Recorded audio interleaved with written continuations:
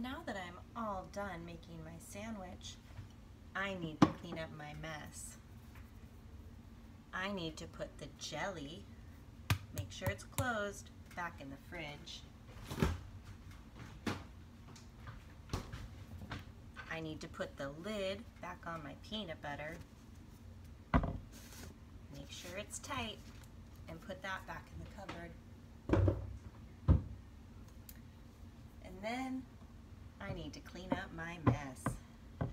I've got peanut butter and jelly all over my cutting board. I'm gonna need some paper towels. So here are my paper towels. I'm going to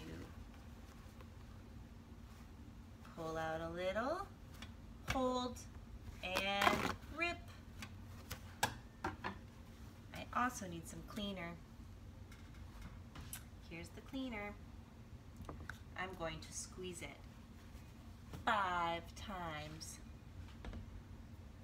One, two, three, four, five.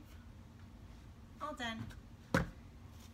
Now I need to wipe the whole surface and make sure I get all of my mess.